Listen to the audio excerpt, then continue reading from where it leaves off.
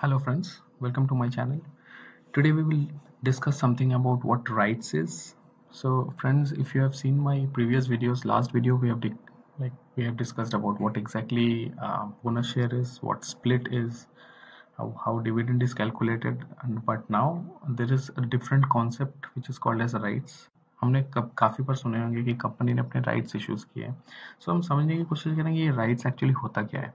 सो so, पहले दोस्तों अगर डेफिनेशन देखें तो डेफिनेशन वो ये बता रहा है कि cash trap companies can turn to right issues to raise money when they really need it तो राइट्स से ये समझ में आता है कि कंपनी की हालत सही नहीं है। डेफिनेटली इट इज़ समथिंग जहाँ पे कंपनी को एक्स्ट्रा पैसे की ज़रूरत है। कंपनी चाह रही है कि उसको एक्स्ट्रा कहीं से कैपिटल मिले।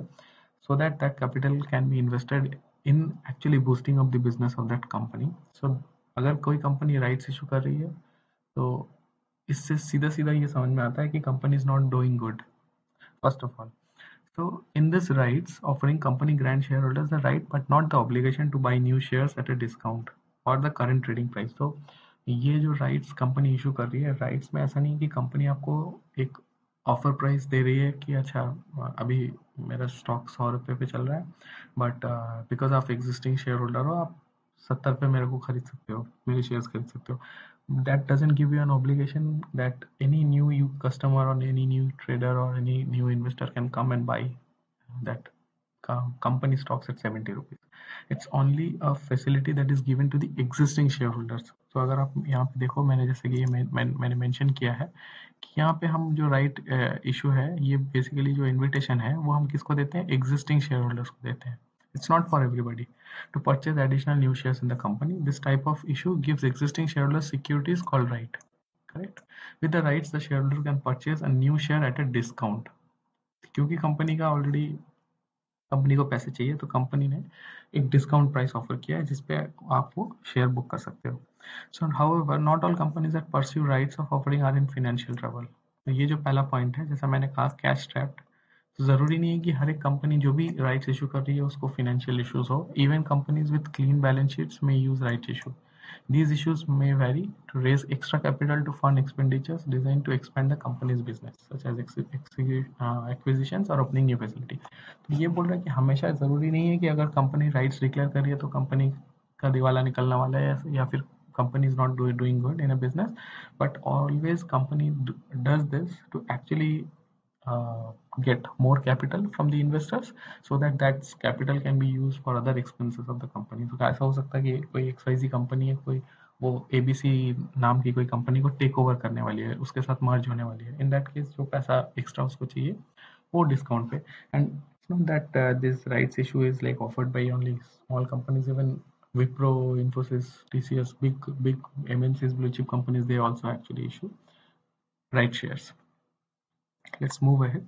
So here I've actually tried to explain what exactly right share means. So यहाँ पे example मैंने क्या दिया कि let's say you own thousand shares of XYZ एक कंपनी के आपके पास हज़ार शेयर है जिसका वैल्यू साढ़े पाँच है. सो so, हर एक शेयर साढ़े पाँच का है वर्थ तो अगर आप देखें हज़ार existing thousand existing share five point five so five thousand five hundred आपका टोटल कैपिटल है जो आपके पास इन्वेस्टेड है.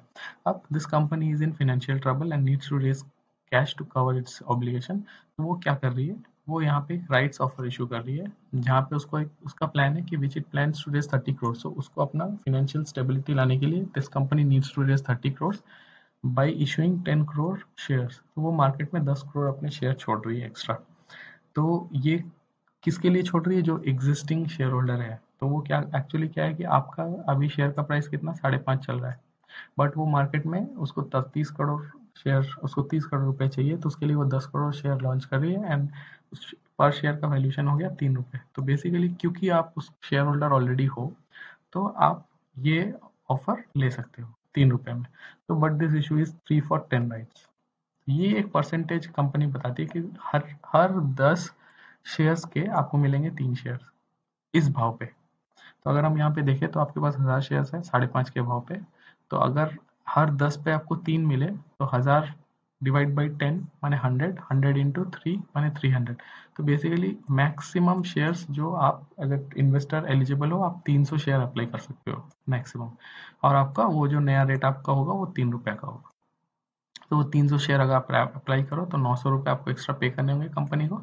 तो आपका भी टोटल क्या हो गया नंबर ऑफ़ शेयर्स आपका हो गया हज़ार प्लस तीन सौ, आपका हो गया तेरह सौ शेयर बट अगेन आपका जो टोटल वैल्यूशन है, वो आपका क्या हो गया? Fifty five hundred nine hundred six thousand four hundred तो टोटल आपका एक्चुअली एक्स राइट्स वैल्यू पर शेयर आपका राइट्स डिक्लेयर हो जाने के बाद में ये आपका नया वैल्यूएशन हो गया।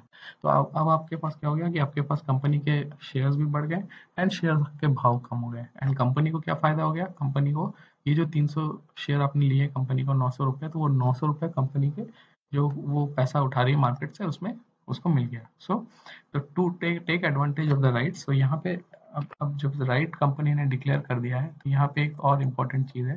कंपनी क्या बोल रही है? To take advantage of the rights है ना? इसका अगर फ़ायदा आपको उठाना है, पूरी तरह से then you would need to spend three every share you are entitled to purchase under the issue, as you would 1000 shares you have, can buy up to 300 shares, correct? At a discounted price. तो अगर आपको फ़ायदा उठाना है जैसा मैंने यहाँ पे एक्सप्लेन किया आपको कि एज ए शेयर होल्डर आपको अगर फ़ायदा उठाना है, ये जो आप 5.5 का शेयर है, वो आप थ्री में उठा रहे हैं, मैंने 45 परसेंट डिस्काउंट आपको मिल रहा है। अगर आपको फ़ायदा उठाना है तो you are eligible only against this thousand shares तो राइट्स में यही डिफरेंस होता है। क्योंकि बोनस में क्या होता है बोनस में कभी भी कंपनी स्टॉक डिक्लेयर कर रही है बोनस तो वन इज़ टू वन या फिर टू इज़ टू वन ऐसा डिक्लेयर करिए तो जितने आपके शेयर है, उतना आपको शेयर्स एक्स्ट्रा मिल रहा है, जिसके लिए आप कोई पैसे नहीं दे रहे हैं। अगर आप स्प्लिट हो रहा है शेयर तो उसमें क्या हो रहा है कि आपका जो एक्चुअली शेयर का वैल्यू है, आपका शेयर का काउंट डबल हो जा रहा है या फिर ट्रिपल हो जा रहा है डिपेंड ऑन द परसेंटेज लेकिन आपका शेयर का जो वैल्यू है, वो हाफ़ हो जा रहा है आपका फेस वैल्यू भी कम हो जा रहा है. बट राइट्स में क्या हो रहा है? एवरीथिंग रिमेन सेम लेकिन क्या हो रहा है? आप एक्स्ट्रा पैसे दे रहे हो to get extra share at discounted price it is a main difference between bonus split and rights तो ये जैसे कि एग्जांपल वैसे ही मैंने मनी कंट्रोल से यहाँ आप इस इस बेसिकली आप आप जाओगे तो आपको bonus details split details dividend details सारी चीज़ मिल जाएँगे। कंपनी जैसा जैसा डिक्लेयर करती है they keep updating this page तो यहाँ पे राइट्स में अगर देखो, हर एक कंपनी ने अपने तो अगर सौ शेयर आप लोग सौ के बदले आपको उन्नीस मिलेंगे। ये वन इज़ टू वन आपको मिल रहा है। हर हर तो यहाँ पे हर परसेंटेज दिया हुआ है। तो हर 127 स्टॉक का आपको सौ मिलेगा। हर एक 15 के आपको सात मिलेगा। हर एक 62 के आपको 127 जनरली आप अगर यहाँ पे देखो कि you will not see big brands Vodafone Idea आपको ऑलरेडी पता है कि अभी it is not doing good Bharti Airtel definitely it's trying to come up to the speed Reliance के कंपैरिजन में रिलायंस जियो के कंपैरिजन में बी प्रिसाइज सो ये बेसिकली वो इस तरह से डिफाइन करती है. एंड फेस वैल्यू भी उसका चेंज होता है How company takes it is company वो डिक्लेयर करती है एक, एक बार उसका वो पैसा रिकवर हो जाए कैपिटल रिकवर हो जाए तो वो राइट्स इशू जो है वो कैंसिल कर देते हैं so this is how the whole rights thing is maintained. I, I hope uh, friends you like this video and you get an idea now what uh, rights issue are. So if you have any further queries, you can always send me an email and uh, send me text at my number that I have provided in the description please subscribe to my channel and uh, keep looking up to my videos. I'll be back soon with a new one. Thank you so much